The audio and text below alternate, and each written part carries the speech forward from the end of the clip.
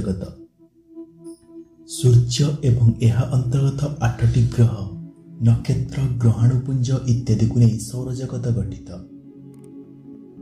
ଆଠଟି ଗ୍ରହ ଯଥା ବୁଦ୍ଧ ଶୁକ୍ର ପୃଥିବୀ ମଙ୍ଗଳ ବୃହସ୍ପତି ଶନି ୟୁରେନସ୍ ଓ ନେପଚୁନ୍ ସୂର୍ଯ୍ୟକୁ ଅନ୍ୟକାର ପଥରେ ପରିକ୍ରମା କରନ୍ତି। ଆଗରୁ ଗ୍ରହ କୁହାଯାଉଥିବା ପ୍ଲୁଟୋକୁ ଏବେ ଗ୍ରହ ମାନ୍ୟତାରୁ ବାହାର କରି ବାମନ ଗ୍ରହ କୁହାଯାଉଛି। ସୂର୍ଯ୍ୟଙ୍କ ନିକଟତମ ଚାରିଟି ଗ୍ରହ ଯଥା ବୁଦ୍ଧ ଶୁକ୍ର ପୃଥିବୀ ଓ ମଙ୍ଗଳ ମୁଖ୍ୟତଃ କଠିନ ହୋଇଥିବା ସ୍ଥଳେ। ଦୂରବର୍ତ୍ତୀ ଚାରିଟି ଗ୍ରହ ଯଥା ବୃହସ୍ପତି ଶନି ଦାନବ ଗ୍ୟାସୀୟ ପିଣ୍ଡ ଏବଂ ୟୁରୋନସ୍ ଓ ନେପଚୁନ୍ ବରଫ ଗ୍ରହ ଭାବେ ପରିଚିତ। ମାନବ ଇତିହାସର ଅଧିକାଂଶ ସମୟ ପୃଥିବୀକୁ ବ୍ରହ୍ମାଣ୍ଡର କେନ୍ଦ୍ର ଭାବେ ବିବେଚିତ କରାଯାଇଛି। ପୁରାତନ ସମୟରେ ସାଧାରଣ ମଣିଷମାନେ ସୂର୍ଯ୍ୟ ଚନ୍ଦ୍ର ଓ ତାରାମାନଙ୍କୁ ପୃଥିବୀ ଚାରିପଟେ ଘୁରୁଥିବାର ଦେଖି ଏପରି ଅନୁମାନ କରିବା କିଛି ବିଚିତ୍ର ନଥିଲା। ମଧ୍ୟଯୁଗରେ ପ୍ରମାଣିତ ହେଲା ଯେ ପୃଥିବୀ ବ୍ରହ୍ମାଣ୍ଡର କେନ୍ଦ୍ରରେ ନାହିଁ। ଏହା ଅନ୍ୟ ଆଠଟି ଗ୍ରହ ପରି ସୂର୍ଯ୍ୟଙ୍କୁ ପରିକ୍ରମା କରୁଛି। ଏଥିପାଇଁ Nicolaus Copernicus Galileo Galilei Johannes Kepler Isaac Newton ଆଦି ବୈଜ୍ଞାନିକମାନଙ୍କ ଅବଦାନ ସ୍ମରଣୀୟ। ସୌରମଣ୍ଡଳକୁ ମୁଖ୍ୟତଃ ଦୁଇ ଭାଗରେ ବିଭକ୍ତ କରାଯାଇପାରେ। ଆଭ୍ୟନ୍ତରୀଣ ମଣ୍ଡଳ ଓ ବାହ୍ୟ ସୌରମଣ୍ଡଳ। ଆଭ୍ୟନ୍ତରୀଣ ସୌରମଣ୍ଡଳର ଗ୍ରହଗୁଡ଼ିକ ସାଧାରଣତଃ କଠିନ ଅଧିକାଂଶ ଧାତବ ଓ ବାୟୁମଣ୍ଡଳ ଧାରଣ କରନ୍ତି।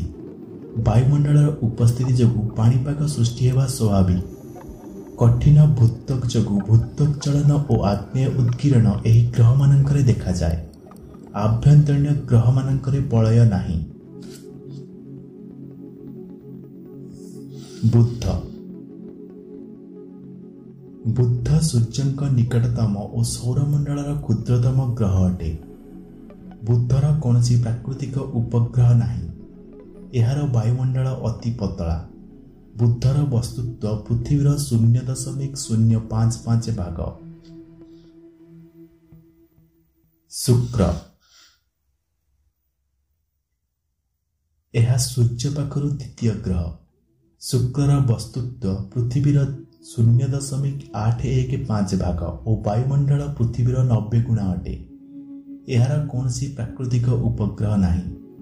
ଶୁକ୍ର ସୌରମଣ୍ଡଳର ସବୁଠାରୁ ଉତ୍ତପ୍ତ ଗ୍ରହ ଯାହାର ପୃଷ୍ଠ ତାପମାତ୍ରା ପ୍ରାୟ ଚାରିଶହ ଡିଗ୍ରୀ ସେଲସିୟସ୍ ଅଟେ। ଶୁକ୍ରର ଆଗ୍ନେୟ ଉତ୍କୀର୍ଣରୁ ବାହାରୁଥିବା ସବୁଜ କୋଠରୀ ଗ୍ୟାସ୍ ମାନଙ୍କ ଯୋଗୁଁ ଶୁକ୍ରର ଏପରି ସ୍ଥିତି ହୋଇଥିବା ଜଣାଯାଏ। କିଛି ବୈଜ୍ଞାନିକ ଶୁକ୍ରର ସ୍ଥିତି ଦେଖି ପୃଥିବୀର ସବୁଜ କୋଠରୀ ଗ୍ୟାସକୁ ନିୟନ୍ତ୍ରଣ ରଖିବା ସପକ୍ଷରେ ମତ ଦିଅନ୍ତି। ପୃଥିବୀ। ଏହା ସବୁଠାରୁ ବଡ଼ ଏବଂ ସାନ୍ଦ୍ର କଠିନ ଗ୍ରହ ଅଟେ। ଆଜି ପର୍ଯ୍ୟନ୍ତ ଜଣାଯାଇଥିବା ତଥ୍ୟ ଅନୁସାରେ କେବଳ ପୃଥିବୀରେ ଜୀବନ ଉପସ୍ଥିତି ଅଛି। ଏହାର ଜଳମଣ୍ଡଳ ସୌରଜଗତରେ ଅନନ୍ୟ ଏବଂ ଜୀବନ ଧାରଣର ସର୍ବୋତ୍କୃଷ୍ଟ ସ୍ଥାନ ବୋଲି ବିବେଚନା କରାଯାଏ। ପୃଥିବୀର ଏକମାତ୍ର ପ୍ରାକୃତିକ ଉପଗ୍ରହ ଚନ୍ଦ୍ର ଓ ସହସ୍ରାଧିକ କୃତ୍ରିମ ଉପଗ୍ରହ ଅଛି। ଗ୍ରହ ଓ ଉପଗ୍ରହ ବସ୍ତୁତ୍ୱ ତୁଳନା କଲେ ଚନ୍ଦ୍ର ସୌରଜଗତରେ ବୃହତ୍ତମ ବୋଲି ଜଣାଯାଏ। ମଙ୍ଗଳ। ମଙ୍ଗଳ ଅନ୍ୟ ସୌରଜଗତର ଗ୍ରହମାନଙ୍କ ଅପେକ୍ଷା ଅନେକାଂଶ ପୃଥିବୀ ପରି। ଯଦିଓ ଏହାର ବସ୍ତୁତ୍ୱ ପୃଥିବୀର ଶୂନ୍ୟ ଦଶମିକ ଏକ ଶୂନ ସାତ ଭାଗ ଓ ଏହାର ବାୟୁମଣ୍ଡଳ ପୃଥିବୀର ଶୂନ୍ୟ ଦଶମିକ ଛଅ ପ୍ରତିଶତ ଅଟେ। ମଙ୍ଗଳ ପୃଷ୍ଠରେ ଥିବା ଲୌହ ଅକ୍ସାଇଡ୍ ଯୋଗୁଁ ଏହା ଲାଲ ଦେଖାଯାଏ। ମଙ୍ଗଳର ଦୁଇଟି ଛୋଟ ପ୍ରାକୃତିକ ଉପଗ୍ରହ ଅଛି। ଆଭ୍ୟନ୍ତରୀଣ ସୌରମଣ୍ଡଳର ଶେଷରେ ଗ୍ରହଣମାନେ ସୂର୍ଯ୍ୟକୁ ପରିକ୍ରମା କରିଥାନ୍ତି। ବାହ୍ୟ ସୌରମଣ୍ଡଳ। ସୂର୍ଯ୍ୟଠାରୁ ଦୂରରେ ଥିବା ଚାରିଟି ଗ୍ରହ ବୃହସ୍ପତି ଶନି ୟୁରୋନେସ୍ ଓ ନେପଚୁନ୍କୁ ଦାନବ ଗ୍ରହ ମଧ୍ୟ କୁହାଯାଏ। ବୃହସ୍ପତି ଓ ଶନି ମୁଖ୍ୟତଃ ଗ୍ୟାସୀୟ ହୋଇଥିବା ବେଳେ ୟୁରୋନେସ୍ ଓ ନେପଚୁନ୍ ଅତିମାତ୍ରାରେ ଥଣ୍ଡା ଓ ବରଫାବୃତ ଅଟନ୍ତି। ଏ ସମସ୍ତ ଗ୍ରହର ବଳୟ ଅଛି ଯଦିଓ ଶନିର ବଳୟ ସୁଦୃଶ୍ୟ ଅଟେ। ସୂର୍ଯ୍ୟକୁ ପରିକ୍ରମା କରୁଥିବା ସମସ୍ତ ବସ୍ତୁତ୍ୱର ଅନେଶତ ପ୍ରତିଶତ ଏହି ଚାରିଟି ଗ୍ରହ ଧାରଣ କରନ୍ତି।